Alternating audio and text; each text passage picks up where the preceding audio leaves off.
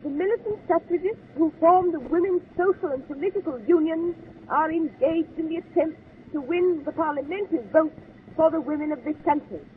Their claim is that those women who pay rates and taxes and fulfill the same qualifications as men voters shall be placed upon the parliamentary register. The reasons why women should have the vote are obvious to every fair-minded person. The British Constitution provides that taxation and representation shall go together. Therefore, women taxpayers are entitled to vote. Parliament deals with questions of vital interest to women, such as the education, housing, and employment questions, and upon such matters, women wish to express their opinion at the ballot box. The honour and safety of the country are in the hands of Parliament. Therefore, every patriotic and public-spirited woman wishes to take part in controlling the actions of our legislators. For 40 years, this reasonable claim has been laid before Parliament in a quiet and patient manner. Meetings have been held and petitions signed in favour of votes for women, but no failure has been the result. The reason of this failure is that women have not been able to bring pressure to bear upon the government, and government moves only in response to pressure.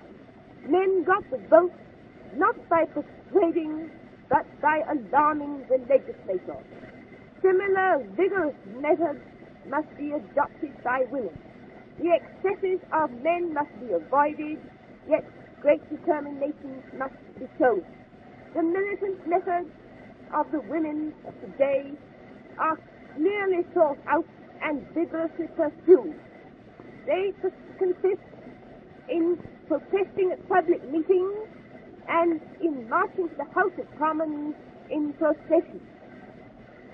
Repressive legislation makes protest at public meetings and offence, but imprisonment will not deter women from asking to vote. Deputations to Parliament involve arrest and imprisonment, yet more deputations will go to the House of Commons. The present Liberal government profess to believe in democratic government, yet they refuse to carry out their principles in the case of women. They must be compelled by a united and determined women's movement to do justice in this matter. Next session, we demand the enactment of a women's enfranchisement measure. We have waited too long for political justice. We refuse to wait any longer. The present government is approaching the end of its career. Therefore, time presses if women are to vote before the next general election. We are resolved that 1909 must and shall see the political enfranchisement of British women.